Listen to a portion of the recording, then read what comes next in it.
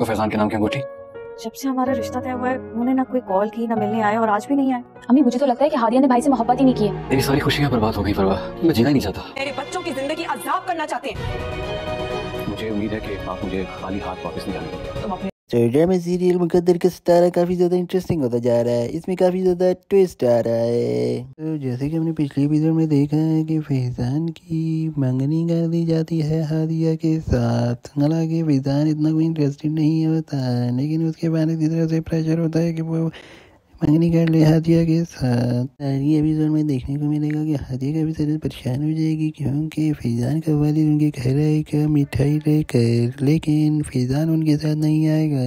गिरना करेगी कि ये कैसा आदमी है जिससे मेरी मंगनी हो गई और वो ना उसने मुझे कॉल की, ना मैसेज किया और ना ही मेरे घर आया।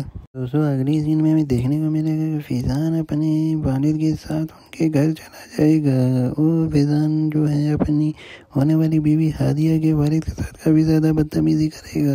उन्होंने कहेगा कि मैं आपकी बेटी से निकाह कर रहा हूँ, बस दैट्स इट इससे ज़्यादा मुझसे दबा रखिएगा। इससे ज़्यादा मैं आपकी बेटी के साथ कुछ भी नहीं कर सकता। ये बात सुनकर हादिया का वालिद काफ़ी ज़्यादा परेशान हो जाता है। लेकिन वो गला करता है फैज़ान के वालिद से।